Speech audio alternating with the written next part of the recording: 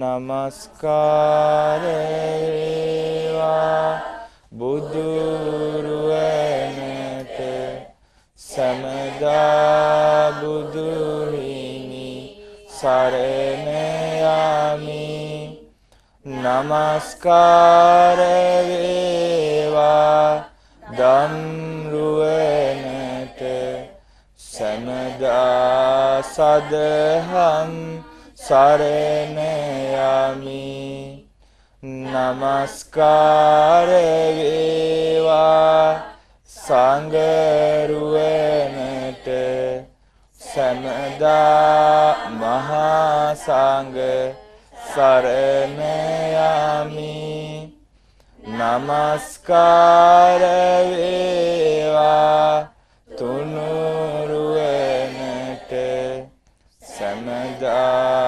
සමදාති සරණ සරණ යමි. සාදු සාදු. ශ්‍රද්ධාවන්ත වාසනාවන්ත පින්වත්නි ඊටාම දුර බැහැර ඉඳලා මේ පින්නතුන් මේ කඩුවෙල මහමෙවුනාව භාවනා සපුවට පැමිණියේ උතුම් ශ්‍රී සද්ධර්මයේ ශ්‍රවණය කරමින් එය බොහෝ දිනෙකට ශ්‍රවණය කරන්න අවස්ථාව උදා කර දීමේ අදහසින් ධර්ම දානමය ඌේ මහත්ඵල මහානිසංස පින රැස් කර ගන්න. බුදුරජාණන් වහන්සේගේ ශාසනය තුල අපි මේ තරම් කාලයක් ධර්මය ඉගෙන ගද්දී අපිට බුද්ධ දේශනා අධ්‍යයනය කරද්දී හරි පුදුමයක් ඇති වෙනවා. මනුෂ්‍ය ජීවිතයට අවශ්‍ය හැම දෙයක්ම නොඅඩුව පරිපූර්ණව උගන්වලා තියෙන හින්දා. බුද්ධ කාලේ බුදුරජාණන් වහන්සේ වටේ ගිහි ශ්‍රාවකයෝ පැවිදි ශ්‍රාවකයෝ කෝටි ගණනක් හිටියා නේද? කොට අද වර්තමාන වෙනකොටත් ලෝකේ කෝටි සංඛ්‍යාත පිරිසක් ඉන්නවා. හැබැයි ඒ කාලෙට වැඩිය ධර්මයේ පුරුදු කිරීමේ වේගය අඩුද වැඩිද? අඩුයි. ලංකාවේ බැලුවොත් ගොඩාක් ධර්මයේ හැසිරෙන්නේ ඒකට මහන්සි වෙන්නේ උනන්දු වෙන්නේ පිරිමි උදවියද කාන්තා උදවියද කාන්තා උදවිය නේද? ඒක හරි සතුටින් කියනව නේද? ඔව්. ඒක තමයි ඇත්තනේ. එතකොට ඒකට හේතුව ඇයි? සමහර විට පරම්පරාවෙන් එන භාවිතයේ පුරුද්ද වෙන්න ඇති. එහෙම නැත්නම් නුවණේ වෙනස්කමක් තියෙනවද මන්ද නේද? එතකොට බුදුරජාණන් වහන්සේගේ කාලේ කාන්තාවනු ධර්ම හැසිරුණා. හැබැයි අදට වැඩිය පිරිමි අය ගොඩාක් උනන්දුවෙන් ධර්ම හැසිරුණා. ඉතින් දැන් මේ දේශනාව අහන රූපවාහිනිය ඔස්සේ බලන පින්වතුනුත් ගොඩාක් අය ප්‍රතිශතයේ බැලුවොත් කාන්තාවෝ වැඩි නේද? එනිසා අපි අද කල්පනා කළා බුදුරජාණන් වහන්සේ කාන්තාවන් මුල් කරගෙනම වදාළ දේශනා ගොඩක් තියෙනවා. එතකොට පළමු ධර්ම සංගායනාවේදී බුදුරජාණන් වහන්සේ වදාළ ඒ ධර්මය රහතන් වහන්සේලා වදාළ ඒ ධර්මය සංගායනා කරද්දී මහා කාශ්‍යප මහ රහතන් වහන්සේගේ මූලිකත්වයෙන් මේව කොටස් වලට වෙන් කළා. එතකොට මේ සංයුත්ත නිකායේ ඒ විවිධ මාතෘකා ඔස්සේ සංග්‍රහ කරද්දී ධර්මදේශනා බුද්ධ දේශනා මාතුගාම සංයුක්තය කියලා වෙනම කොටසක් සංග්‍රහ වුණා.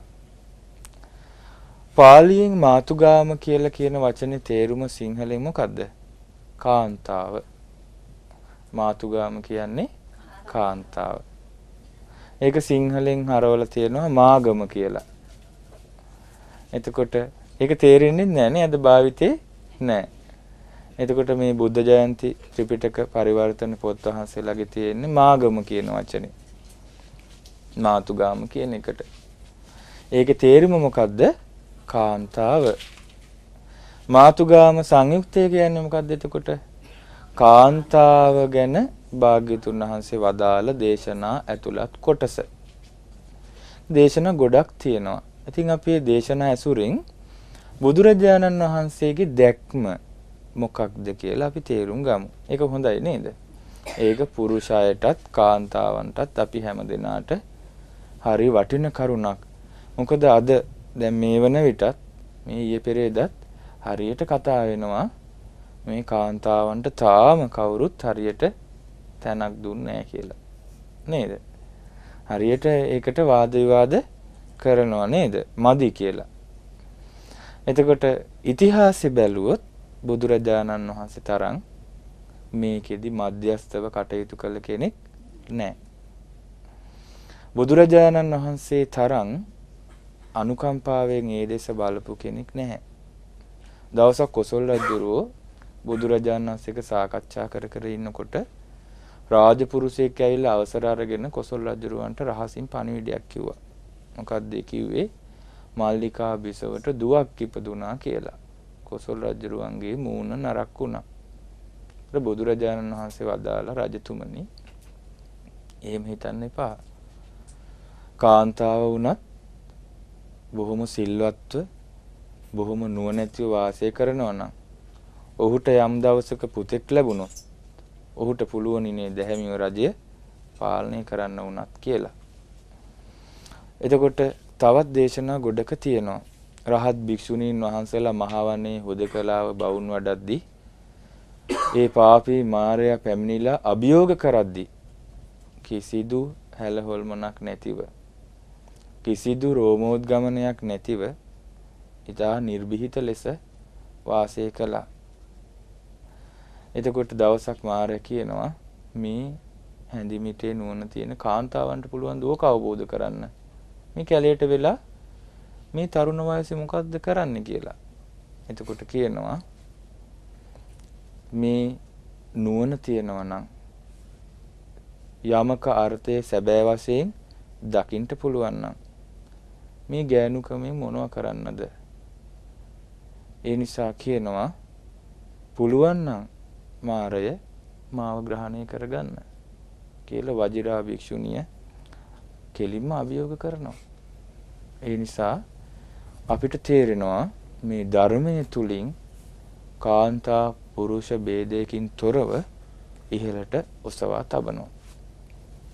නමුත් බුදුරජාණන් වහන්සේ හැම වෙලාවෙම සමාන කරලා කතා කරන්න ගියෙත් නැහැ. අපිට බුද්ධ දේශනා සුරු කරද්දී තේරෙන්නේ කාන්තාවන්ට පුරුෂයන් හා සමතැනක් නෙමේ හිමියේ යුත්තේ නිසි තැනක්. නේද? තාත්තාගේ භූමිකාව හැම වෙලාවෙම අම්මට කරන්න පුළුවන් කියලා කියන්න බෑ නේද? නමුත් තාත්තට වඩා සමහර විට අම්මා අතින් කටයුතු වෙන අවස්ථාත් තියෙනවා. ඒ නිසා ඒක සංසන්දනය කරන්නේ නැතිව සමතැනක් ගැන කතා කරන්නේ නැතුව ලබන්න පුළුවන් නිසි තැන ගැන කතා කළොත් ඒක ගොඩාක් සාර්ථක වෙයි. බලන්න මේ දේශනා බුදුරජාණන් වහන්සේ වදාලා පංචහි භික්ඛවේ අංගෙහි සමන්නාගතෝ මාතුගාමෝ ඒකාන්ත අමනාපෝ හෝති පුරිසස්ස මෙන්න මේ අංග පහෙන් යුතු කාන්තාව පුරුෂයාට ඒකාන්තයෙන්ම අමනාපයි. ඒ කියන්නේ කැමති වෙන්නේ නම් නැහැ. බුදුරජාණන් වහන්සේ වදාළ මොනවද? නච රූපවා හෝති. ලස්සන නැහැ. ප්‍රියමනාප නැහැ. නච භෝගවා හෝති. භවභෝග සම්පතුත් නැහැ. දුප්පත්. නච සීලවා හෝති. සිල්වතුත් නැහැ. චරිතය හොඳත් නැත්නම්. අලසෝච හෝති. කම්මැලී නම්. පජංචස්සන ලබති. දරුවෝ ප්‍රජාව බිහි කරන්නට සමත් නැත්නම් දරුවෝ හදන්න හැකියාවක් නැත්නම් පුරුෂයාට එයා ගැන හිත පහදින්නේ නැහැ. මේක ලෝකේ දකින්න ලැබෙන දෙයක් නෙමෙයිද? දැන් බුදුරජාණන් වහන්සේ මේ අමුතුවෙන් එකක් හදලා දුන්නා නෙමෙයි. එක්ක බුදුරජාණන් වහන්සේ කියපු නිසා අපි ඒක පිළිගන්න ඕනෙත් නෙමෙයි. මේ ලෝකේ තියෙන ස්වභාවය බුදුරජාණන් වහන්සේ පැහැදිලි කළා. හැබැයි බුදුරජාණන් වහන්සේ වදාලා යම් කාන්තාවක් හරි රූපවත් නම් ඒ කියන්නේ මේ කළුද සුදුද කියන එකම නෙමෙයි. ප්‍රියමනාප ස්වභාවයක් නම් තියෙන්නේ. දැන් අර කියන්නේ මෛත්‍රී භාවනාව වඩද්දී මුඛවන්නෝ විප්පසීදති. මුහුණේ පැහැය පැහැපත් වෙනවා. එතකොට ඒ කියන්නේ මේ කළු කෙනා මෛත්‍රී භාවනාව වඩද්දී සුදු වෙනව නෙමෙයි. නේද? ප්‍රියමනාපයි දැන් ඉන්නවනේ එහෙමනේ. සමහර කෙනෙක් සුදු වෙන්න පුළුවන් නමුත් කිසි ප්‍රියමනාප ගතියක් මූනේ නැහැ. දැන් වයසක ආච්චිලා ඉන්නවා සමහරු.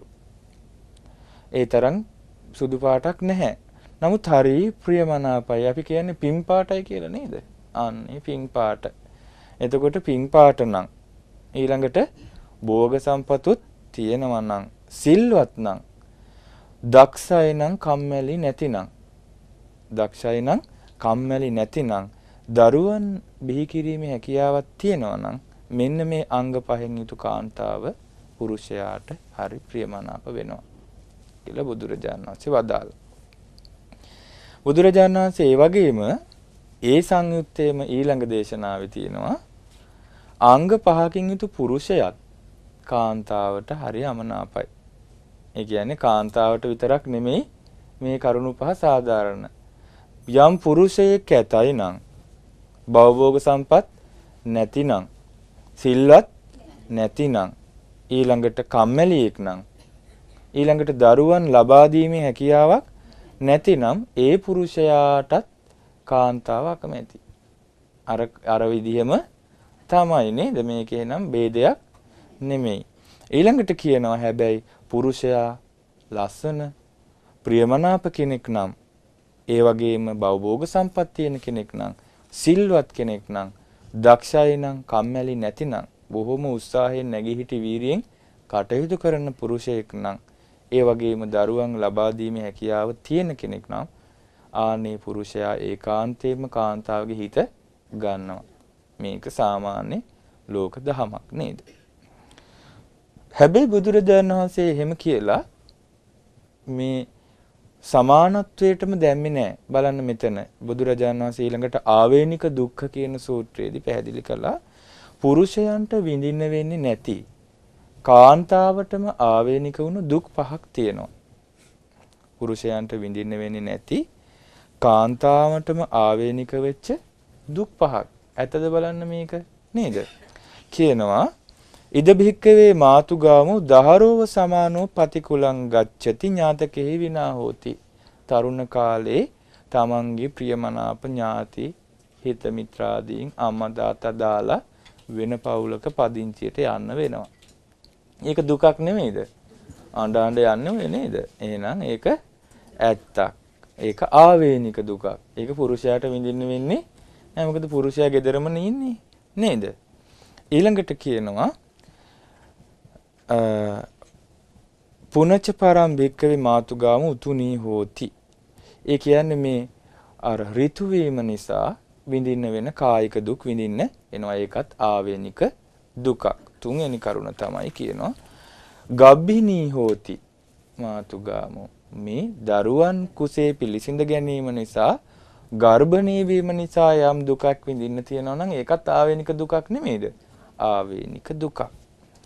ඊළඟට භාග්‍යතුන් වහන්සේ වදාලා මාතුගාම විජායති දරුව වදන්න වෙනවා. ඒක ගොඩාක් දුකක් නේ. ඒක ලොකු දුකක් පුරුෂයන්ට විඳින්න වෙන්නේ නැති. ඊළඟට භාග්‍යතුන් වහන්සේ වදාලා පස්වෙනි දුක තමයි මේ කාන්තාවට විශේෂයෙන්ම විඳින්න සිද්ධ වෙනවා පුරිසස්ස පාරිචරියං උපේති පුරුෂයාට සේවය කරන්න සිද්ධ වෙනවා. දැන් සාමාන්‍ය ලෝකයේ අතීතයේ ඉඳලා තියෙන එකක් තමයි පුරුෂයාගේ ඇඳුම් පැළඳුම් හොදලා දෙන එක. කෑම උයලා පිහලා දෙන එක නේද? එතකොට ඒ පුරුෂයාට සේවය කරන්න වෙන එකත් සැපක්ද? නෑ ඒක අපි පිනක් රැස් වෙන විදිහට හිතලා කරනවා මිසක ඒක වෙහෙසක් නෙනේ. එතකොට ඒකත් ආවේනික දුකක්. ඔන්න ඔයක පුරුෂයන්ට නැති කාන්තාවන්ට විතරක් ආවේනික දුක් පහක් මේ ලෝකේ දකින්න ලැබෙනවා. ඊළඟට තවත් දේශනාවක් තියෙනවා. බුදුරජාණන් වහන්සේ හිදි වදාලා මෙන්න මෙතන තමයි ගොඩාක් වැදගත් වෙන්නේ. කාන්තාව මේ කරුණු තුනෙන් යුක්තව නිතර නිතර හිටියොත් මරණින් මත්තේ අපාය උපදිනවා. ඒ තමයි පුබ්බන්න සමයන් මච්ඡේර මල පරියුට්ඨිතේන චේතසාගාරං අජ්ජාවසති උදේ කාලේ මසුරු මලෙන් යුක්තවයි gedere ඉන්නේ. ඒ කාලේ කාන්තාව ගොඩක් දුරට ගෙදරනේ හිටියේනේ. ඒකට උදේට තමයි ශ්‍රමණ බ්‍රාහ්මණවරු මොනවා හරි ඉල්ලගෙන එන්නේ. දුගී මගී අය එතකොට මසුරුකමෙන් යුක්තව මැඩිලා හංග හංග හංග හංග දෙන්නේ නැතුව හිටියොත් ඒකෙන් මොකද්ද වෙන්නේ? ඕ මසුරුකම නැමැති දෙයින් අර අයසාව මලං සමුට්ඨිතං කියලා කියන්නේ නේද? යකඩේ මලකඩ හැදුනාම තදුට්ඨාය තමේව කාදති. ඒ මලකඩ ඒකෙන්ම හැදිලා ඒකම විනාශ කරලා දානවා වගේ. කාන්තාව තුළ මසුරු මල ඇති. මොකද gedara දේවල් රකින්නේ එතුමියනේ නේ. එතකොට මසුරු මල පිරිමහනවා පිරිමහනවා කිය කිය. මසුරු වුණොත් මොකද වෙන්නේ? අන්න ඒකෙන් හිත කිලිටු වෙලා යනවා. මජ්ජන්තික සමයන් ඉස්සා පරියුට්ඨතෙන චේසාගාරං මධ්‍යහ්න කාලේ අනිත්‍යයේ දේවල් දිහා බල බල ඉරිසියාකම් කරනවා. එතකොට මොකද වෙන්නේ? ඒකෙනුත් පව් වැඩෙනවා. ඊළඟට සායන්න සමයන් කාමරාග පරියුට්ඨිතේන චේතස රාත්‍රී කාලේ කාමරාගෙන් යට වෙච්ච හිතින් වාසය කරනවා. ඔය ටික විතරක් කර කර හිටියොත් උදේට මසුරු මලෙන් දවල්ට ඉරිසියාවෙන් රැයට කාමරාගෙන් ඔය තුන විතරක් බලවත්ව කර කර හිටියොත් කය බිඳිලා මරණින් මත්තේ අපායයන්ටත් සිද්ධ වෙනවා. එහෙනම් ඒක මේ කාන්තාවන්ට නිකන් ලේබලයක් ගැහුවා කියලා ඔබ උසස් කියලා අපායයන් නැතුව ඉන්නවද? නෑ එහෙම වෙන්නේ නෑ. ඒක ක්‍රියාවෙන්ම තමන් හදාගන්න ඕනේ දෙයක්. අනුරුද්ධ මහරහතන් වහන්සේ දවසක් භාග්‍යතුන් වහන්සේ ළඟට වැඩියා. අනුරුද්ධ මහරහතන් වහන්සේ දිවස්ලාභිනේ. ඉතින් කල්ප ගණන් බලන්න පුළුවන්. පුබ්බේ නිවාසානුසති ඥාණයෙන් බලන්න පුළුවන්. දිවස් නුවණින් බලන්න පුළුවන් මේ සත්‍යව ඈත අතීතේ කර්මානුරූපව චුත වෙච්ච උපදින විදිය. දැන් වර්තමානයේ බලන්න පුළුවන් උන්වහන්සේට දිවසින් ඔන්න මේ සත්‍යයා චුත වුණා. ඔන්න දැන් කර්මානුරූපව ඉපදුනා කියලා බලන්න පුළුවන් නුවණක් තිබ්බා. ඒකට මොකද්ද කිව්වේ? චුතූපපාත ඥානෙ. ඉතින් භාග්‍යතුන්හසින් අහනවා ස්වාමිනි මං දකිනවා දිබ්බේන චක්ුණා විසුද්ධේන අතික්කන්ත මානුසකේන කායස්ස බෙහෙදා පරම්මරණ අපායන් දුක්ගතින් විනිපාතං නිරයන් උප්පජ්ජන්ත මං සමහර කාන්තාව දකිනවා මගේ පිරිසිදු දිවසින් මේ මේ සාමාන්‍ය ඇස ඉක්මවා ගිය මම පැහැදිලිවම දැක්ක භාග්‍යතුන් වහන්සේ මරණින් මත්තේ සමහර කාන්තාව අපාය උපදිනවා මං දැක්කා ස්වාමීනි මොන කරුණ වලින් යුක්තව හිටපු කාන්තාවද ඔය විදිහට නිරේ ගියේ කියලා ඇහුවා. භාග්‍යතුන් හසේ වදාලා කරුණු පහක් තියෙනවා. ඔය කරුණු පහෙන් යුක්ත වුණොත් නම් අනුරුද්ධ අපායේ යන්ට වෙනවා කාන්තාවට. කොච්චර හොඳට දරුවෝ හැදුවත් කොච්චර ප්‍රසිද්ධියක් ඇතුව හිටියත් මට නම් ප්‍රශ්නයක් නෑ කියලා කිව්වත් ඔය කරුණු පහෙන් යුක්ත වුණොත් බලන්න මොනවද කරුණු පහ? අස්සද්ධෝච හෝති ශ්‍රද්ධාව නැතිනම් අහිරිකෝච හෝති පව් කරන්න ලැජ්ජාවක් නැතිනම් අනුත්තාපීච හෝති පව් කරන්න බයක් නැතිනම් කෝධනෝච හෝති ක්‍රෝධයෙන් නම් ඉන්නේ. දුප්පඤ්ඤෝච හෝති. ප්‍රඥාවක් නැත්තම් ඒ කියන්නේ මේ දීර්ඝ සසර ගමනක් ආවේ. මේකේ දුක අවබෝධ කරගත්තේ නැත්නම් තණ්හාව ප්‍රහාණය කළේ නැතිනම් නිවන අවබෝධ කරගත්තේ නැතිනම් ආර්ය අෂ්ටාංගික මාර්ගය ප්‍රගුණ කළේ නැතිනම් මේ චතුරාර්ය සත්‍ය අවබෝධ කළේ නැතිනම් ආයෙත් ඒ විදිහටම සසරේ දුක් විඳ විඳ යන්ට වෙනවා. හැබැයි ඒ අවබෝධ කළොත් දුකින් මිදෙන්න පුළුවන් කියලා යම් කාන්තාවට ප්‍රඥාවක් නැතිනම් ඔය කරුණු පහෙන් යුක්ත කාන්තාවට අනුරුද්ධ අපායේ යන්ට සිද්ධ වෙනවා. එතකොට මේ විදිහටම තවත් දේශනා ගොඩාක් තියෙනවා. ඒකෙදි භාග්‍යතුන් හසවදාලේ ශ්‍රද්ධාව නැතිකම, පවට ලැජ්ජාව නැතිකම, පවට බය නැතිකම ඊට පස්සේ ප්‍රඥාව නැතිකම හැම දේශනාවකම සමානයි ඉස්සරහට තියෙන. නමුත් වෙනස් වෙනවා සමහර ක්‍රෝධ අර අපි කලින් කතා කර දේශනාවේ තිබෙ මොකද්ද? ක්‍රෝධය තියෙනවා. ඊළඟට භාග්‍යතුන් වහන්සේ වදාලා මේ උපනාහීච බද්ධ වෛරය තියෙනවා නම් එතකොට නිරේ යන්න හේතු වෙන දේවල් තමයි ක්‍රෝධ කිරීම, බද්ධ වෛරය. දැන් ඔය ඕව නැද්ද සමාජේ? ඔව් තියෙනවා සමහර විට අම්මලා තාත්තලා නඩු කියලා මැරිලා. තාම අපේ අම්මලා කොච්චර වියදම් කරාද ඊඩමට අතාරින්නේ නැහැ මාත් කියලානේ. ඔව් පොඩ්ඩ ඇත්නම් සමහරු පොඩ්ඩ ඇත්නම් ක්‍රෝධය කෙස්වලු පටලෝගන රණ්ඩු වෙනවනේ. පිරිමි වගේ නෙමෙයි රණ්ඩු වෙනකොට නේද සද්දේ. ඔව්. එතකොට මොකද මේ වෙන්නේ? ආන්න එතකොට මේ ක්‍රෝධය ඇති කිරීම නිරේගාමී අකුසලයක් කියලා දැනගත්තේ නැති අය අන්න නිරේගාමී වැඩපිළිවෙලේ යෙදিলা ඉන්නවා. එතකොට අපිට තරහ යන හේතු එන්න බැයිද? එතකොට මතක් වෙන්න ඕන මෙන්න මේ දේශනා මොකද්ද මාතුගාම සංයුත්තේ දේශනා. ඊළඟට බද්ධ වෛරය පලි ගන්නවනේ. ගොඩාක් ওই දේවල් වල ගිහිල්ලා ඔය කරන්නේ ගොඩක් කවුද? ඔය නූගත් කාන්තාවෝ ඉන්නව නේද? ගම්මිරි සමරනවලුනේ. මෙසේ ඇඹරී ඒවා කියලා. එතකොට මොකද්ද මේ බද්ද වෛරය? ඊළඟට ඉස්සුකි ඒ කියන්නේ ඊර්ෂියාවෙන් මැඩිලා ඉන්නවා. ඒකත් නිරේගාමි අකුසලය. මච්චරී හෝති. ඒ කියන්නේ මසුරුකමින් දන් දෙන්නේ පොට්ටනී ගගහ තියාගෙන ඉන්නවා. ඊළඟට අතිචාරී ස්වාමියා ඉක්මවා හැසිරෙනවා. ස්වාමියා ඉක්මවා හැසිරෙනවා. සාමාන්‍යයෙන් මේ කාලේ රාගේ වැඩිද අඩුද සමාජේ? රාගේ වැඩි. ඒ කියන්නේ අභ්‍යන්තරව ඒ ස්වභාවය තියෙනවා කෙලෙස් සහිත සත්වයාගේ. නමුත් මේ මාධ්‍ය දියුණුවත් එක්ක ඒව ප්‍රසිද්ධිය කරලා මාධ්‍යයට දාලා තියෙන නිසා දැන් ඒ කාලේ ඔය අසභ්‍ය දෙයක් බොහෝම හොරෙන් යටිබීම් ගතව තමයි තිබ්බේ. නමුත් දැන් පුංචි ළමයාගේ ඉඳලා ඕනේ වෙලාවක නොපෙනෙන තැනකට ගිහිල්ලා බලන්න පුළුවන් විදිහට මාධ්‍ය දියුණුවද ඒක මාධ්‍ය පිරිහිලා තියෙනවා. එතකොට ඒව බලද්දී අර අභ්‍යන්තරව සැඟවිලා තියෙන කෙලෙස් ඉස්මතු වෙනවා. ඉන්ද්‍රිය අසංවරය නිසා කෙලෙස් ඉස්මතු වෙනවා. එතකොට හිතනවා මේ කෙලෙස් වසඟ වෙච්ච රාගී චරිතවල ඒ පිරිහීම නිසා කරපු දේවල්. නමුත් හිතනවා ආ ඉතින් ඒගොල්ලෝ ඉතින් මේ සමාජයේ ඔක්කොම එක වගේ තමයි. ඉතින් ඒ නිසා අපිත් මේ වගේ දේවල් වැරදි වලට පෙළඹුණාට කමක් නැtei කියලා විශේෂයෙන් තරුණ ළමයි. තරුණ ළමයි වරදට පෙළඹෙනවා. සමහර විට ඒ කාලේ නම් සමහර තරුණ කාලේ මෝඩකමට හැඟීම් පාලනය කරගන්න බැරුව සමහර විට අධ්‍යාපනය ලබන කාලේ වරද බැඳිච්ච සිදුවීම් පරණ මේ මේ අම්මලා තාත්තලාගේ කාලවල තිබ්බා නේද? හැබැයි ඒත් එකපාරයි වැරදුනේ නේ. ඒගොල්ලෝ ආය හදාගෙන ඒ පෞල් ජීවිතය එහෙම ගත කළා අතිචාරිය උනේ නැහැ. නේද?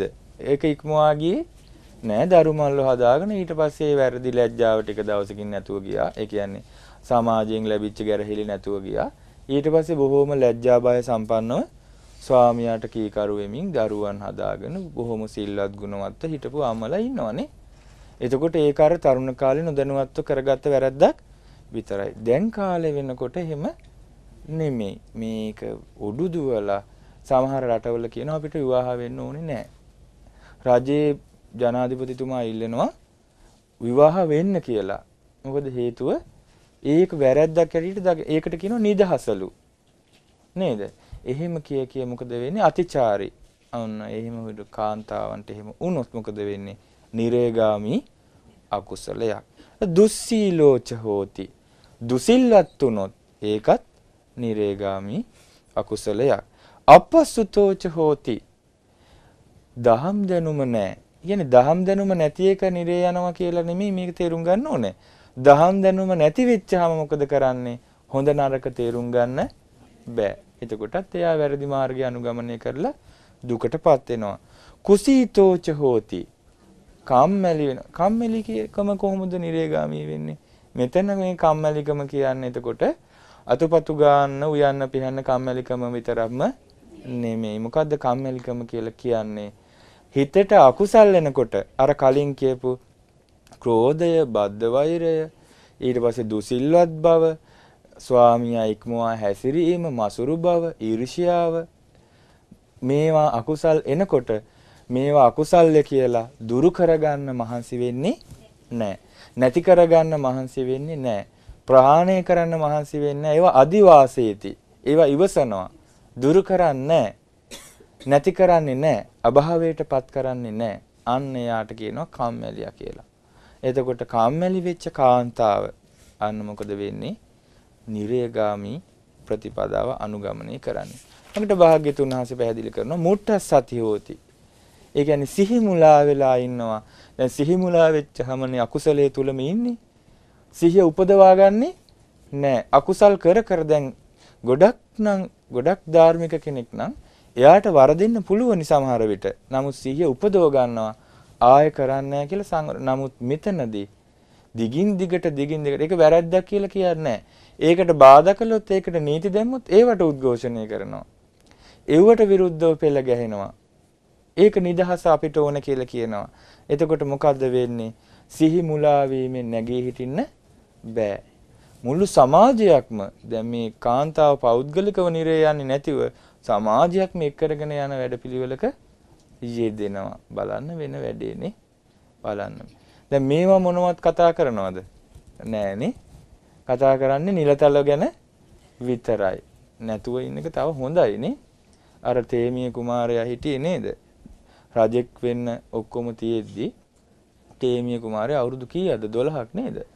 අවුරුදු 12ක් අබ්බගාතෙක් වගේ ඉන්නවා. මොකද ಜಾති ස්මරණ නුවණ පහළ වෙලා කලින් ජීවිතයේ අවුරුදු 20ක් රජකම් කරලා කල්ප ගානක් නිරේ දුක් විඳපු හැටි මතක් වෙලා දැකලා මොකද කරන්නේ හොඳ තරුණ වයසට එනකම්ම අතපය කොරු වගේ ඉන්නවා.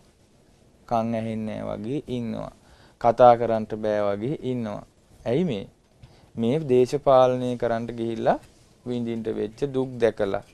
එතකොට දැන් කාන්තාව හැටියට එක අතකින් බේරිලා ඉන්නවා ගොඩක් අය නේද? නමුත් ඒක ධාර්මිකව කරන්න පුළුවනි. ධාර්මිකව කරලා සමාජයට සේවයක් කරන එක වැරද්දක් නෙමෙයි. නමුත් මේ කරුණු ගැන අපි දැන් කතා කරපු දේශනාවේ කරුණු ගැන ගොඩක් අය අවධානය යොමු කරනවද? නැහැ. එතකොට අපි ආර්ය ශ්‍රාවකයයි සාමාන්‍ය මිනිස්සයයි ආර්ය ශ්‍රාවිකාවයි නිකම්ම නිකං කාන්තාවයි වෙනස් වෙන්නේ ඔන්න ඔතනින් නේද?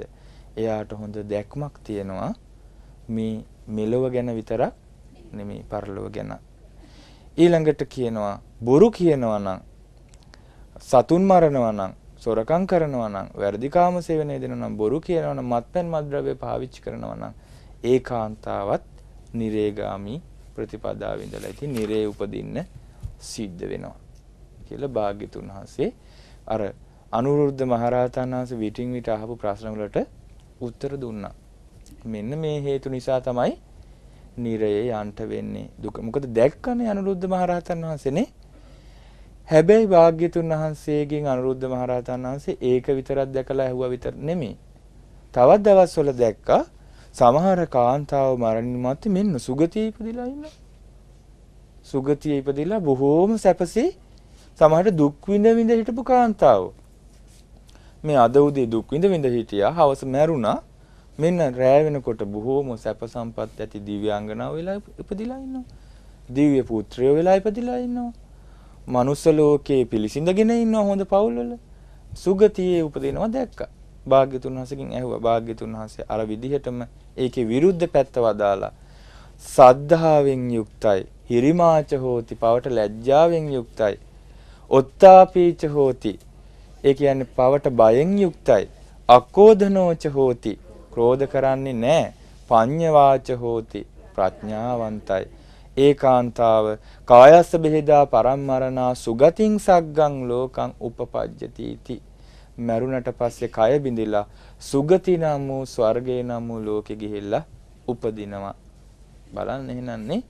එතකොට භාග්‍යතුන් වහන්සේ හැම වෙලාවෙම දැන් අර ලෙඩෙක් හොඳටම ලෙඩ වුණාම ඔළුව අත ගාලා හරි හරි ඔයා කන්න මොනවද ආසා නේද? මොනවා හරි කියන්න බය වෙන්න එපා හොඳ වෙයි. එහෙම කියලා නිකන් කරන සරල රටාව භාග්‍යතුන් වහන්සේ කැමති උනේ නෑ. භාග්‍යතුන් වහන්සේ වදාළේ ඔයා මේ මැරෙන්න ළඟයි. මේ වෙලාවේ සිහිය උපදවා ගන්න කියලා එයාට සැබෑ රැකවරණයක් ස්ථාවර රැකවරණයක් ලබා දීම తాවකාලිකව හිත සතුටු කිරීමම නෙමෙයි. ඒ නිසායි බුදුරජාණන් වහන්සේ වදාළේ කාන්තාවට මේ වගේ අනතුරුදායක පැත්තක් තියෙනවා මේ වගේ දුක් විඳින්න ස්වභාවයක් තියෙනවා. ඒ වගේම එකෙන් බේරෙන්න ක්‍රමයකුත් එතකොට සැබෑවටම රවට්ටන්නේ නැතිව රැකවරණයට යොමු කළේ කවුද? අපගේ ශාස්ත්‍රුන් වහන්සේ නේද? සිමේ අර විදිහටම අක්‍රෝධයෙන් යුක්ත බව, බද්ධ වෛරේ නැති බව, ඊර්ෂ්‍යාව නැති බව, මසුරුකම නැති බව, අනතිචාරී ස්වාමියා ඉක්මවා හැසිරින්නේ නැතිකම සීලවන්තස්ස ඒ කියන්නේ සිල්වත් බව බහුශෘත බව හොඳ දහම් දැනුමක් තියෙනවා නම් අකුසල් එද්දි ඒ වගේන් බේරෙන්න පුළුවන්. ආරද්ධ වීරිය අකුසල් උපදිනකොට ඒවා දැක දැක ඒ ඒ මොහොතේ ප්‍රහාණය කරනවා දැන් අපිට ඇති වෙන්නේ නැද්ද තරහ මේ වගේ. දැන් දරුවෝ හදන්න අම්මල ගොඩාක් මහන්සි වෙනවා. නමුත් අන්තිමට නොසලකා හරිද්දී තමන් කියන දේ මායින් කරන්න නැතුවාම යාළුවෝ කියන දේවල් අහලා ඒ අය කරන අනුමත කරනවා. ඒ අය කියන දේ පිළිපදිනවා. මෙච්චර මේ පුංචි කාලේ ඉඳලා හදා වඩාගත්ත අම්මා කියන දේ අහන්නේ නැහැ. එතකොට ක්‍රෝධයක් තරහක් ඇති වෙන්නේ නැද්ද? ඇති වෙනවා. හැබැයි ඒක සාධාරණද? සාධාරණ වෙන්න පුළුවනි. නමුත් යහපත්ද අයහපත්ද? අයහපත්. සාධාරණ වුණත් අසාධාරණ වුණත් අයහපතේ විපාක අයහපත්ම තමයි. එතකොට ඒකෙන් ඒ වෙලාවේ ක්‍රෝධය ඇති වෙච්ච වෙලාවට Tamanට සැපයක් තියනවද? ගිනි ගන්නවනේ මූණ කළු වෙනවා. ඊට පස්සේ දත් මේ නේද දත් මිටි කනවා. නේද? පුපුරු ගහනවා. මොනවත් එදාට නිදා ගන්නත් බෑ හරියට. කන්න බොන්නත් බෑ හරියට. ඒක තැනක වාඩි වෙලා ඉන්නත් බෑ. අර සතෙක් ඉන්නවා කියනවනේ උක්කණ්ඨක කියලා රෝගයක් ඇදුනහම හිවලෙකුට ඌට ගහක් යටට ගියත් ඉන්න බෑලු. එතන. ඊට පස්සේ වතුරට බැස්සත් ඉන්න බෑලු. ගොඩට ආවත් ඉන්න බෑලු. නිදාගෙන ඉන්නත් බෑලු. හිටගෙන ඉන්නත් බෑලු. ඒ වගේ තමයි මේ තරහ ඇති වෙච්චාමනේ. තරහ ඇති වෙච්චාම හිට යනවා මෙහිට යනවා අරයට බයිනවා මෙයාට බයිනවා හොඳ අයටත් බයිනවා ළමයිටත් බයිනවා වැරදි නොකරපු අයටත් බයිනවා හාමුදුරුවන්ටත් බයිනවා නේද එතකොට තව තව තව තව ගැට ගැහිලා ගැට ගැහිලා මොකද වෙන්නේ? නිරේගාමී ප්‍රතිපදාවේ අපූර්වට යනවා. ඒ වෙලාවට කවුරුත් කියන්නේ නැහැ කාන්තාවන්ට නිදහස ඕනේ. මේ අකුසලයෙන් බේරෙන්න ඕනේ. මේකට උපදෙස් දෙන්න ඕනේ කියලා කියනවද? නෑනේ. ඇයි හේතුව? සැබෑම නිදහස මොකක්ද කියලා සැබෑම අයිතිවාසිකම මොකක්ද කියලා සැබෑම යුතුයකම වගකීම මොකක්ද කියලා සැබෑම රැකවරණය මොකක්ද කියලා දන්නේ නැති නිසා. ඊළඟට භාග්‍යතුන් වහන්සේ තව අදාළ ලස්සන දේශනා වගේක් තියෙනවා. මේ බලය ගැන මේකේ තියෙන්නේ කාන්තාවගේ බලය ගැන. වටිනව නේද මේ කාලේ මේ මාතෘකාව? ඔව්. කාන්තාවගේ බලය ගැන කොහොමද තියෙන්නේ? පංචමානි භික්කවේ මාතුගාමස බලානි. එක බලයක් නෙමේ කාන්තාවට තියෙන්නේ බල පහක් තියෙනවා. මොකක්ද මේ බල පහ? රූප බලං. රූපේ තියෙනවා නම් ඒකෙන් බලවත් වෙන්න පුළුවන්. රූපය අඩුයි නම් බලේ අඩු වෙනවා. එහෙම එකක් තියෙනව නේද? තියෙනවා. දැන් ඊළඟට කියනවා භෝග බලං.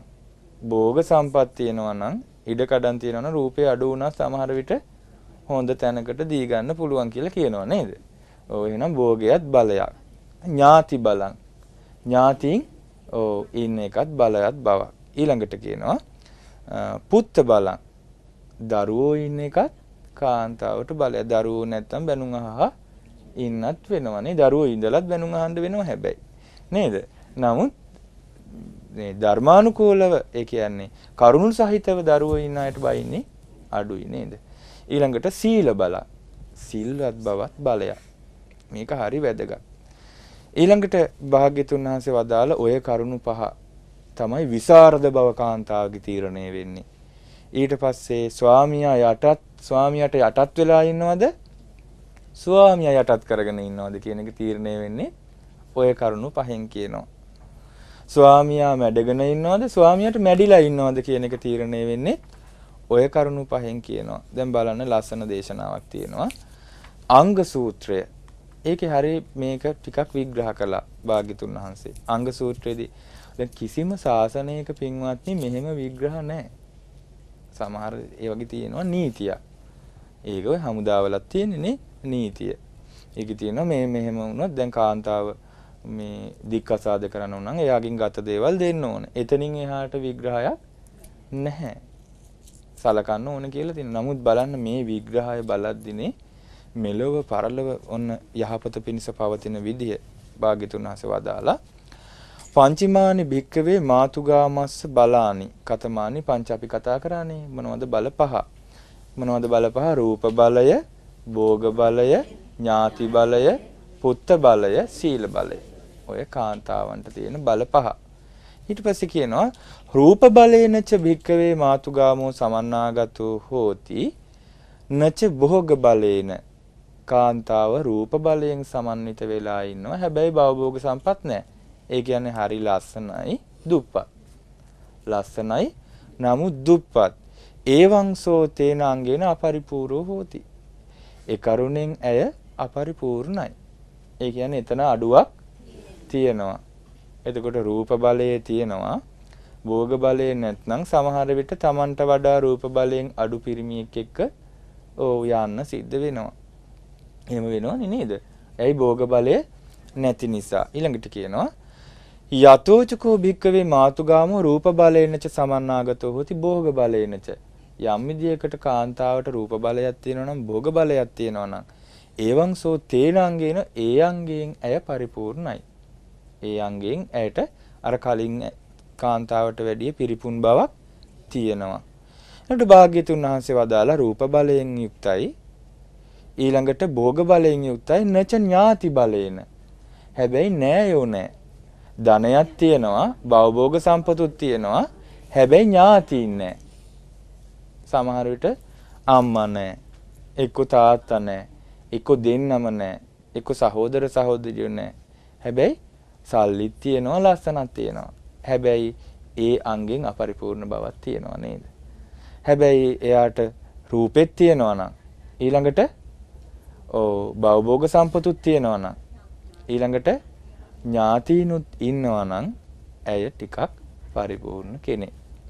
ඊළඟට භාග්‍යතුන් වහන්සේ වදාලා මේ යතෝචකෝ භික්කවේ මාතුගාමෝ රූප බලේනච සමන්නාගතෝ හොති භෝග බලේනච ඥාති බලේනච ඊට පස්සේ කියනවා එයාට රූප බලයක් තියෙනවා භෝග බලයක් තියෙනවා ඥාති බලයක් තියෙනවා. හැබැයි නච පුත්ත බලේන දරුවෝ නැහැ දරුවෝ නැත්නම් ඔය එහෙම ඉන්නවනේ සමාජේ. බලන්න නේද? ඒ කාලේ වගේම තමයි. රූපයක් තියෙනවා සල්ලිත් තියෙනවා ඥාතිත් ඉන්නවා. ඉතින් එනවාට දරුවෝ නැහැ කැමති නෑ පිරිස ඉස්සරහට එන්නයි අහනවා. ඔයාලට දරුවෝ නැද්ද තාම? ලැජ්ජාවටපත් වෙනවා නේද? පීඩාවටපත් වෙනවා. එතකොට බුදුරජාණන් වහන්සේ වදාළ ඒ කරුණෙන් ඇයට අඩුවක් තියෙනවා. හැබැයි පුත්‍රයොත් ඉන්නවනම් ඒ කියන්නේ දරු පළක් තියෙනවනම් ආන්න ඒ කරුණෙන් පරිපූර්ණ බවක් තියෙනවා. ඊළඟට භාග්‍යතුන් වහන්සේ වදාලා හැබැයි ඔය හතරම තිබ්බත් ඒ කියන්නේ ලස්සනයි හරි හොඳට සල්ලි භාගෙ මිල මුදල් ඉඩ කඩන් යාන වාහන වතු පිටිත් තියෙනවා. ගොඩ මඩ දෙකම තියෙනවා. ඊළඟට ඥාති පිරිසත් ඉන්නවා. අම්මගේ පරපුරත් හොඳයි, තාත්තගේ පරපුරත් හොඳයි. නේද? උභය කුල පාරිශුද්ධ. නේද? ඊළඟට හතරවෙනි එක මොකද්ද? ඔව් පුත්‍රයොත් ඉන්නවා, දරුවොත් හරියට ඉන්නවා. නමුත් සිල්වත් නැහැ. ඒ කියන්නේ චරිතයේ හොඳ නෑ. දැන් චරිතය හොඳ නෑ කියද්දි අතිචාරය විතරනේ අයිති වෙන්නේ. ඒ කියන්නේ ඉක්මවා යෑම විතරයි. නමුත් තව තියෙනවා සිල්වත් නෑ කියද්දි මොකද්ද වෙන්නේ? සත්තු මරනවා ඇය. හොරකම් කරනවා. ඔව්. ඊට පස්සේ වැරදි කාම සේවනයේ දෙනවා. බොරු කියනවා. ඔව් මත්ද්‍රව්‍ය පාවිච්චි කරනවා. ඉන්නවනේ දැන් ටික ටික ඒවට පුරුදු වෙනවා. ඒවට එක එක නමුත් කියනවනේ නේ. soft drink කියනවා නේද? ඒ කියන්නේ නම් දාලා ලස්සනට මද්ද්‍ර මේ මොකද්ද අරකු කියන්නේ නැහැ. ඒකට වෙන නමක් දාලා ඒත් මොනවද බොන්නේ? ඔව් මත්ද්‍රව්‍යම මත්පැන්ම තමයි. මත්පැන් කියන්නත් හොඳ නැහැ ඒකත් එකකින් අපි කිව්වට නේද? ඔව් කමක් නැහැ. ඉතින් ඒක සිංහල වචනයක් හින්දා අපි කියනවානේ මත්පැන් හා මත්ද්‍රව්‍ය භාවිතයෙන් වැළකීම කියලා. නමුත් ඒ කියන්නේ මොනවද මේ? ඔව් මේ කියන්නේ වහ වතුරටනේ. ඔව් විස වතුරට තමයි මේ කියන්නේ ජීවිතේ විනාශ වෙලා යනවා. ඒකට කාන්තාව ඒකට පුරුදු වුණොත් ඔන්න ඔය පහෙන් යුක්ත නම් දුස්සීල නම් අරවා මොනවා තිබ්බත් වැඩක් නැහැ. ඒ කාන්තාව අපරිපූර්ණයි කියනවා. එතකොට මේ තමන්ගේ தත්ත්වය කවුද හදාගන්න ඕන එහෙනම්? තමන්මයි හදාගන්න ඕනේ. ඊට පස්සේ භාග්‍යතුන් වහන්සේ හරි පැහැදිලි විස්තරයක් කරනවා. භාග්‍යතුන් වහන්සේ වදාලා මේ අංග පහෙන් බලද්දි මේ රූප බලය, භෝග බලය, ඥාති බලය, පුත්ත බලය, සීල බලය බලද්දි හැබැයි රූප බලය අඩු වුණා කියලා. රූප බලය අඩුයි නම් නමුත් සීල බලය තියෙනවා නම් ඒ කෙනාව නසන්නේ කියනවා. කුලයෙන් නිරපල දාන්නේ නැහැ කියනවා. ඒ කියන්නේ රස්සන නැහැ. නමුත් සිල්වත් කාන්තාවක් නම් ඒ කාන්තාවට හානියක් වෙන්නේ නැහැ කියනවා. හැබැයි රූපේ කොච්චර ලස්සන වුණත් ඇය සිල්වත් නැතිනම් ඇය ඒ පවුලේ තියාගන්න කැමති වෙන්නේ නැහැ. ඇත්තද බොරුවක්ද? ඇත්තක්. ඊළඟට කියනවා භෝග බලය නැති වුණත් සීල බලය තියෙනවා නම් ඒ කියන්නේ දුප්පත් වුණා සිල්වත් නම් ඇයට තැනක් තියෙනවා. හැබැයි දුස්සීලයි නම් හොඳ ධනවත් කාන්තාවක් වුණත් ඇයව පවුලක තියාගන්න කැමති වෙන්නේ නෑ ධාර්මික පිරිසක් නම්. ඊළඟට කියනවා ඥාති බලය තිබ්බත් සීල බලය නැත්නම් ඥාති බලයෙන් ඇති වැඩක් නෑ. ඥාති බලය නැතත් කාත් කවුරුවත් නැතත් සිල්වත් කාන්තාවක් නම් ගුණ යහපත් නම් ඇය නිල පවුලෙන් නිරපන්නේ නෑ තියාගන්නවා. කියනවා පුත්‍ර බලය නැතත් එනි දරුවෝ නැතත් සිල්වත් කාන්තාවක් නම් ස්වාමියා ඒ කාන්තාව නිරපල හරින්නේ නැහැ.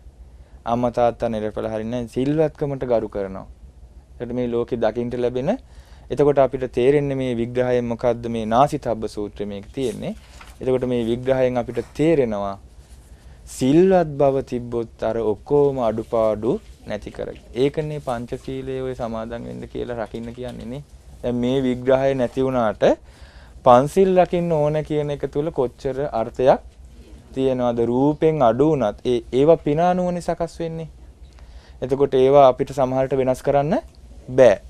ඒතර රූපෙන් අඩු වුණත්, භවභෝග සම්පත් වලින් අඩු වුණත්, ඥාති පිරිවරෙන් අඩු වුණත්, දරුවන් හැදීමේ හැකියාවෙන් අඩු වුණත් සිල්වත් බව තියනවා නම් ඒ කාන්තාවට දෙපයින් නැගී හිටින්න පිළිගැනීමක් තියෙනවා. ආයෙ ඉල්ල ඉල්ල යන්න ඕනේ නෑ ගෞරව කරනවා.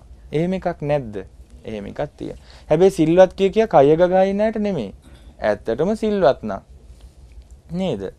සිල්වත් ගැන කිය කිය ඉන්නවා නම් නමුත් ඒක රකින්නේ නැතිනම් අපි දන්නේ නැද්ද උන්දගේ හැටි කියලා කියනවනේ.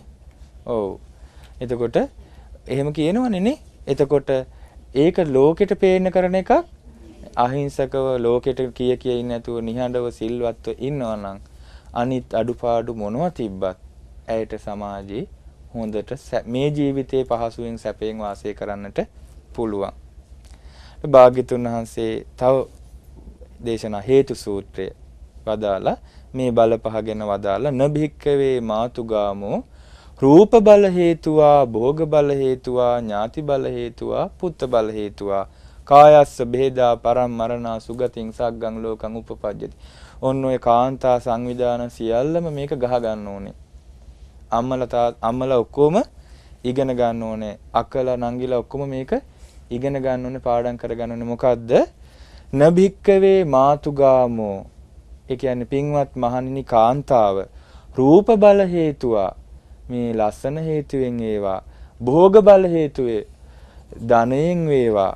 ඥාති බල හේතුවා ඥාති පිරිවරින් වේවා. පුත්ත බල හේතුවා දරුවන් වැඩිීමේ හැකියාවෙන් වේවා. කායස්ස බෙහෙදා පරම් මරණා සුගතින් සග්ගං ලෝකං උපපජ්ජති. මරණින් මත්තේ සුගතියේ උපදින්නේ නැහැ මරණින් මත්තේ කොච්චර ලස්සන වුණත් කොච්චර ධනවත් වුණත් කොච්චර පිරිවර හිටියත් ඒ කියන්නේ කරදරයක් පීඩාවක් වෙච්ච වෙලාවට වට කරගෙන උදව් කරත් නේද? එතකොට හරි ආඩම්බරයක් ඇති වෙනවන්නේ. සමහර විට සමහර දෙමව්පියෝ තමන්ගේ කවුල කෙනෙක් පැවිදි වෙලා ඉන්නවනම් ඒකිනුත් ආඩම්බර වෙනවනේ නේ. ඒකිනුත් ආඩම්බර අපේ පුතා මෙහිමයි. අපේ පුතා අහවල් තැන පැවිදි වෙලා ඉන්නේ. නමුත් ඒක මොකද්ද? ඥාති බලයක් නේ. තමන්ගේ ඥාතියෙක් ඕ හොඳ තැනක ඉන්නවා. එහෙම කිවලා ඒ හේතුවෙන් නම් පුත්ත බල හේතුව දරුවන් ගොඩක් හිටියා කියලා හරි අපේ ලොකු පුතා ඉංජිනේරුවෙක් චූටි දුව ડોක්ටර් විභාගෙ ලියනවා දැන්. ඔහොම කිය කියා කොච්චර හිටියත් මොකද මේ පුත්ත බලය ඕක කිය කිය හිටියත් තිබ්බත් ඒ හේතුවෙන් නම් සුගති ලෝකේ උපදින්නේ නැහැ. සීල බල හේතුකෝ භික්කවේ මාතුගාමෝ සීල බලයේ හේතු වෙනුයි පින්වත් මහණෙනි කාන්තාව. කායස්ස බේදා පරම් මරණා සුගතින් සග්ගං ලෝකං උපපජ්ජති. මරුණට පස්සේ සුගතියේ යන්නේ. අන්න බලන්නනේ ඉමානිකෝ භික්ඛවේ පංචමාතුගාමස්ස බලානිති ඔන්න ඕක තමයි බලයන් ගැන විග්‍රහය මේ දේශනාවේ. තව දේශනාවක භාග්‍යතුන් වහන්සේ වදාලා මහණෙනි මේ දුර්ලභ කරුණු පහක් තියෙනවා. පින් කරපු නැති අයට ලැබෙන්නේ නැහැ. අකත පුඤ්ඤේන මාතුගම් පින් නොකල කාන්තාවට ලැබන්න බෑ මොකද්ද? පතිරූප කුලේ ජායයන්ති. අනේ හොඳ පවුලක උපදින්න ඇත්නම් කියන එක. ඒ කියන්නේ හොඳ පවුලක උපදින්න කාන්තාවකට ලැබෙන්නේ නැහැ පින් කරලා නැත්නම්. එහෙනම් අපි මේ දුප්පත් පවුලක ඉපදුනේ ඇයි? ආ පිනේ අඩුවක් නේ. ඒක කාගේවත් වැරද්දක් නෙමෙයි. අපි අපේම අඩුපාඩු. මේක කාන්තාවට විතරක් නෙමෙයි පිරිමින්ටත් පොදු. ඊළඟ තව එකක් තියෙනවා. පතිරූප කුලේ ජායිත්ත පතිරූප කුලං ගච්ඡේයන්ති. හොඳ කුලයක ඉපදිලා, හොඳ පවුලක ඉපදිලා හොඳ පවුලකටම සම්බන්ධ වෙන්න ඇතනම් කියලා කාන්තාව කැමති වුණාට පින් කරලා නැත්නම් ඒක වෙන්නේ නැහැ. සමහර විට තමන් කොච්චර හොඳ තැනක ඉපදුනත් ගිහිල්ලා සම්බන්ධ වෙන්නේ නරක තැනකට කියන්නේ අපාය වගේ මෙහි කියලා කියනවනේ. ඇයි හේතුව ඒත් පිනේ අඩුවක්. හොඳ තැනක උපදින්න පින තිබ්බට හොඳ තැනකට යන්න පින නෑ. ඊළඟට භාග්‍යතුන් මේ ඨාන සූත්‍රය මේක. ඊට බලන්න ලස්සනනේ මේ දේශනාවල. ඊළඟට භාග්‍යතුන් වහන්සේ වදාලා ඊළඟට කියනවා පතිරූප කුලේ ජායිත්තා පතිරූපං කුලං ගන්්වා අසපත්නි අගාරං අජ්ජාවසේ යන්ති මේක නම් ලංකාවේ බෞද්ධ කාන්තාවන්ට තියෙනවා. ඒ පින මොකද්ද? හොඳ තැනක ඉපදිලා හොඳ තැනකට දීග ගිහිල්ලා සපත්නී භාර්යාවන් නැතුව ඉන්න. ඒ කියන්නේ එකම ස්වාමියාට භාර්යාව කීප දෙනෙක් ඉන්නවට ඒගොල්ලන්ට කියනවා ඕ සපත්නි කියලා. ඒ කියන්නේ සම භාර්යාවන් නැහැ. Taman තමයි එකම භාර්යාව. එහෙම වෙන්න බෑ පිනක් නැත්නම්. එතකොට මේ බෞද්ධ කාන්තාවෝ කියන්නේ පින්වන්ත නැද්ද? ලංකාවේ. හරි පින්වන්තයි. ඇයි හේතුව? එක විවාහයයි බෞද්ධ පුරුෂයෝ කරගන්නේ. අන්න බලන්නනේ. එහෙනම් ඕන්න කාන්තාවන්ට කියලා දෙන්න මේක. අපි හරි වාසනාවන්ත ඒක දෙන්නෙක් ඉඳලා බලන්න ඕනේ. මේ කාලේ පුරුෂයෝ තීරණයක් ගන්න ඕනේ. හරි අපි ඕ කීප දෙනෙක් විවාහ කරගන්නවා කියලා. එතකොට මොකද වෙන්නේ? හැම වෙලාවෙම ඉරිසියාව අර මසුරු බව ඉරිසියා එතකොට තමයි හරියට එන්නේ. ඊට ඇද හොයන ගතිය. අර කිට දුන්න මට දුන්නේ ඔහොම කිය කිය හොය හොය ඉන්නවා මිසක් ළමයි බලන්නවත් වෙලාවක් නැහැ. Tamanට බණ දහම් හැසිරෙන්න ඒ කාලේ තිබ්බනේ බුද්ධ කාලෙත් ඉන්දියාවේ. හරියට තිබ්බා. ඉතින් සමහරු ක්‍රෝධ කරලා වෛර කරලා අර කාලියා කිනිගේ කතාව තියෙන්නේ නේද? එතකොට දුක් විඳ විඳ යන්න සිද්ධ වුණා. හරියට ඔය මේ ධම්මපදයේ කතන්දරවල තියෙනවනේ නේද? ඒ අපි අපේ අම්මලා ඒකෙන් බේරුණා. අන්න ඒක මොකද්ද? පින. පින් මේ තියෙන්නේ. අකත පුඤ්ඤේන මාතුගාමේන දුර්ලභං ඨානං. ඒක පින් නොකල කාන්තාවට නම් දුර්ලභ දෙයක්.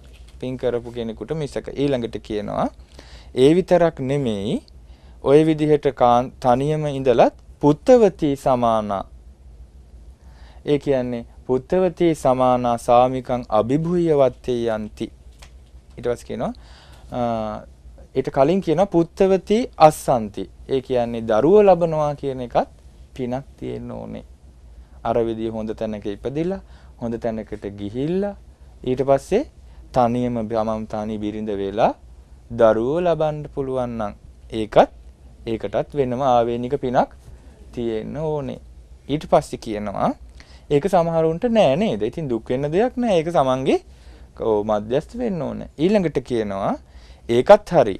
නමුත් තව එකක් තියෙනවා ඔන්න කාන්තාව ඉල්ලන දෙයක් අද. මොකද්ද? පුත්තවතී සමාන සාමිකං අභිභූය වත්තේයන්ති. ඒ විදියට හොඳ තැනක ඉපදිලා හොඳ තැනකට ගිහිල්ලා තමන් එකම භාර්යාව වෙලා දරුවොත් ලැබිලා ස්වාමියා මැඩගෙන තමන් ඉන්නවා හොඳට. ඒ කියන්නේ ස්වාමියාට යට වෙලා ඉන්නේ තමන් පවුලේ ප්‍රධානත්වය මුලසුන දරනවා. අම්මා විසින් මුලසුන දරනවා. ආන් එහෙම වෙන්නත් පින් නොකල කාන්තාවකට නම් බෑ කියනවා. දැන් අපි විසාකා මහෝපාසිකාව ගැන කතා කරනවා. නමුත් මහත්ය ගැන කතාවක් නැහැ නේ. ඔව් පූර්ණවර්ධනද කොහෙද නේද මහත්තයා? ඔව් මහත්තයා ගැන කතාවක් නැහැ. ඒ ඇයට පින තිබ්බා නේද? ඇයට පින තිබ්බා. මේ පවුලේ මූලිකත්වය ගන්න. ගෘහ මූලිකාව වෙන්න. අන්න ඒකත් පින තියෙන්න ඕනේ. ඉතින් භාග්‍යතුන් වහන්සේ වදාලා ඕවට පින තියෙන්න ඕනේ මේ කෑ ගහලා ලබන්න පුළුවන් දේවල් නෙමෙයි. අරව නැත්තේ පින නැති නිසා. ඒකට තමන්ගේ අඩුපාඩුවක් සසරේ තියෙන්නේ. විසරද වෙන්නත් එහෙමයි. විසරද බව තියෙන්නේ ඔය කරුණ නිසා. අපි අවසාන කරුණ ඉගෙන ගන්නවා. එතකොට මාතුගාම සංයුත්තේ සියලු දේශනා වගේ අපි කතා කළා. දේශනා 30ක් පමණ. මම මේ සාරාංශ කරලා කිව්වේ. ඉතින් හරි වටිනවා එකටම කියව ගන්න ලැබීම කියනවා. මේ කරුණු පහකින් වැඩෙන ආර්ය ශ්‍රාවිකාව ආර්ය වූ වැඩිමකනුයි වැඩෙන්නේ. සාරය ගත්ත වෙනවා කියනවා මේ ජීවිතේ. උතුම්ම දේ ගත්ත කියනවා. මොකද්ද? සද්ධාය වඩ්ඩති. ඇය ශ්‍රද්ධාවන්ත වෙනවා නම් සීලේන වඩ්ඩති. ඇය සිල්වත් වෙනවා නම් සුතේන වඩ්ඩති. ඇය දහම් දැනුමින් යුක්ත වෙනවා නම් ඡාගේන වඩ්ඩති. ඇය ත්‍යාග සම්පන්නයි නම් දන් දෙනවා නම් පඤ්ඤාය වඩ්ඩති. ඇය ප්‍රඥාවන්තයි නම් මෙන්න මේ කරුණු පහෙන් වැඩෙන කාන්තාව ජීවිතේ සාරය ගත්ත කියනවා. ජීවිතේ උතුම් බව ගත්ත කියනවා. ජීවිතයේ ශ්‍රේෂ්ඨ දේ ගත්ත කියනවා. ඇය ආර්ය ශ්‍රාවිකාවක් කියනවා. ඇය ආර්ය වූ වැඩිමකින් වැඩිමකටපත් වුණා කියලා කියනවා. ආන් ඒ වගේ සිල්වත් උපාසිකාව මෙලවදීම තමාගේ ජීවිතේ හරය ගත්තා. එතකොට පරලොව කොහොමටත් හරයටපත් වෙනවනේ. ඒ නිසා අපි හැමදෙනාම ප්‍රාර්ථනා කරන්නට ඕනේ හැමදෙනාම කැමති වෙන්නට ඕනේ මෙන්න මේ වගේ සාරය ගන්න, හරය ගන්න සැබෑම කාන්තාවගේ අයිතිවාසීම රැකගන්න ඕ අම්මලා බවට පත් වෙන්න සහෝදරියන් බවට පත් වෙන්නනේ. ඉතින් අපි පුරුෂයන්ටත් මේකෙන් ගන්න ලොකු දේවල් තියෙනවානේ. දැන් මේ දෙපිරිසටම මේ කරුණු සාධාරණයි ගොඩක්. ඒ නිසා අපි හැමදෙනාම ගෞතම බුදුරජාණන්ගේ ශාසනය තුල සැබෑ පිළිසරණ ලබා ගත්තොත් ඒ ලබා ගන්න තියෙන්නේ මේ මාතුගාම සංයුත්තේ සඳහන් විදිහට ඉතින් ඒ විදිහට මේ ශ්‍රද්ධාව, සීලය, සෘතය, ත්‍යාගය, ප්‍රඥාව ඇති කරගත්තොත් අර කළු පැත්තේ තිබ්බ අකුසල ධර්මයන් දුරු කරලා සුදු කුසල ධර්මයන් රැස් කරගෙන ආර්ය අෂ්ටාංගික මාර්ගයේ අනුගමනය කළොත් ඒ කළුත් නැති සුදුත් නැති කර්මක්ෂය බවට පත් වෙන මාර්ගය ගමන් කරලා අමා මහ නිවන අවබෝධ කරගන්නට පුළුවන්. ඒ සඳහා වාසනාව උදා වේවා.